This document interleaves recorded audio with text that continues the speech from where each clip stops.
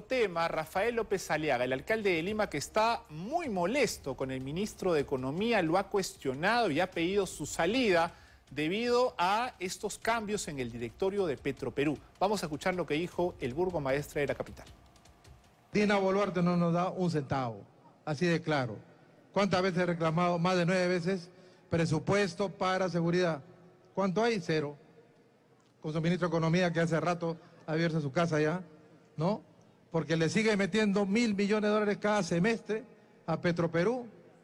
Esa es una afrenta al Perú, que sea pues ministro de Economía, que le mete mil millones de dólares a una empresa quebrada, con margen operativo negativo.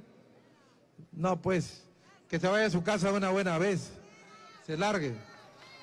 Bueno, duras palabras ahí de Rafael López Aliaga debido a la situación que atraviesa Petroperú y, digamos, en parte es correcta la información, ¿no? Porque se ha dado una partida presupuestal ahora para tratar de salvar a esta empresa estatal, se ha cambiado el directorio y muchos sectores, Pamela, consideran que en realidad ya se trata de una empresa insostenible. Algunos incluso hablan de una privatización, pero parece que el gobierno quiere salvarla de alguna manera.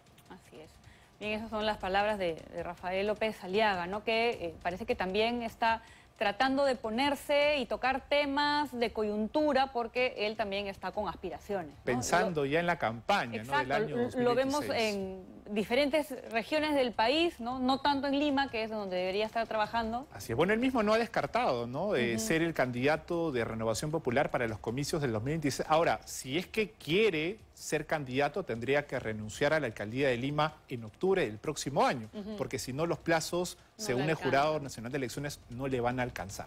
Bien, vamos ahora a hablar